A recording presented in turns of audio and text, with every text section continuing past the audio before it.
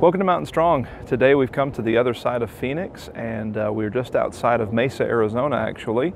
I uh, stopped along the side of the road to have a look at McDowell Mountain behind us and uh, didn't realize that just around the bend from where I was was the granite, uh, I already forgot the name of it, but the granite reef or granite rock, I think, something like that. Anyway, you'll see it on the video. The uh, granite something uh, pull off ultimately is what it is just a place where you can stop and have a lunch uh, but uh, uh, a place where you can also get a closer look at this mountain and also surprisingly enough a place where there's a little bit of water uh, in front of the mountain and so it's a pretty cool scene. Uh, nice place to have lunch if I had brought mine which uh, I didn't but anyway today we're going to be having a look at Psalm 149 let's go ahead and read that together. Praise the Lord. Sing to the Lord a new song. His praise in the assembly of the godly let Israel be glad in his Maker. Let the children of Zion rejoice in their King. Let them praise his name with dancing, making melody to him with tambourine and lyre. For the Lord takes pleasure in his people. He adorns the humble with salvation. Let the godly exult in glory. Let them sing for joy on their beds.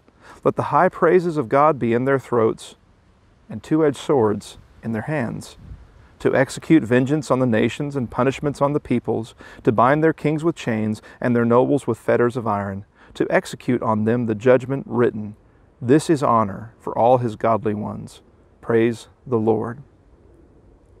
I didn't point this out in the last psalm, but we've been seeing psalms that begin and end with a statement, Praise the Lord, which again describes these psalms as psalms that encapsulate the very idea of praise. Uh, inclusios, where the psalm begins and ends with the same statement, are kind of summation statements, but also purpose statements. This is a psalm of praise. And you can see that, especially in the first five verses, can't you? You can see a description of praise.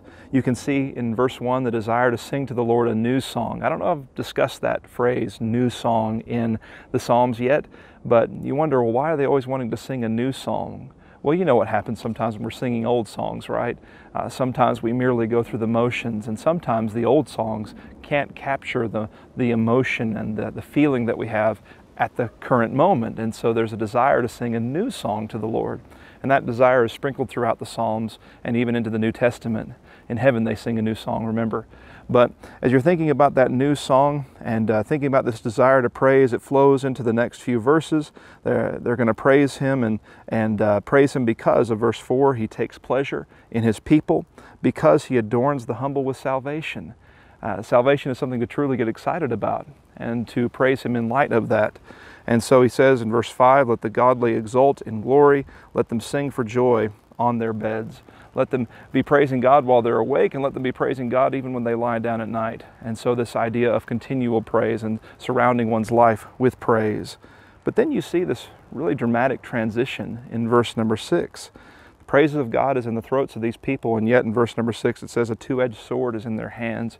And you're wondering, well, how can that be? How can these be people of praise, but at the same time, a sword in their hands?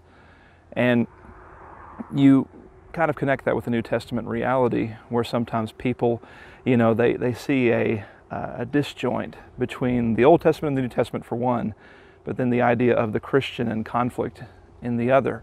And, and so they, they say that there's war in the Old Testament, but none in the New Testament, that there is, even in the New Testament, in the life of Christ, nothing but peace it's not being consistent really with the teachings of Jesus or the life of Jesus. You remember Jesus, he said that his teachings would bring a sword down families, let alone uh, between nations and groups of people. The Lord doesn't always bring peace. And in fact, uh, what one person one time told me that they would rather have Christ than conflict is just not consistent because sometimes Christ demands conflict. Sometimes we have to be people of conflict in order to defend the Lord and His cause. And so I think the psalm is a good reminder to us. Uh, there are some of us who find combat and find conflict very easy. We're uh, the kind of people who crave conflict. This psalm isn't for you. But for those of us who find ourselves more drawn to humility, uh, and I don't mean that to say that the others aren't. I mean that to say that we find ourselves more drawn to the to the more non-biblical humility, where we're we're uh, quiet and meek and mild and and uh, just passive in every situation. This is a psalm for us to realize that conflict is a part of our lives if we are following God. It's not carnal conflict. We're not taking up literal swords as they did in the Old Testament, and so there is that difference. Um, but Nevertheless, we are called to conflict. In 2 Corinthians chapter 10 and verse 4, uh, we're called uh, to, uh, to wage war not carnally, uh, but as the verse continues there, to cast down high and lofty things. Uh, we have a great conflict that we have to wage against Satan and his forces. In John chapter 16 and verse 8, you know, uh, the idea here that we're going to, to do as these verses say in verse 7, vengeance, conquest in verse 8, judgment in verse 9. That's the very thing that the Spirit was sent forth to do, to uh, convict the world of sin and to bring judgment to it in John 16 and verse 8. And so, again, it's a part of our lives as people of faith. It's not something that we can just tear out of our Bible or something that we can ignore. It's not something that's merely a part of the Old Testament, not a part of the New. And so, again, this psalm is for us, and it is a reminder to us that at times we have to be people of conflict. We don't crave conflict. The servant of the Lord must not strive, Paul told Timothy. But at the same time, there are times where we merely have to and must have to uh, dig our heels in and do that which is right, even when others aren't. So go to the psalm if you need that kind of encouragement, and may God bless you today.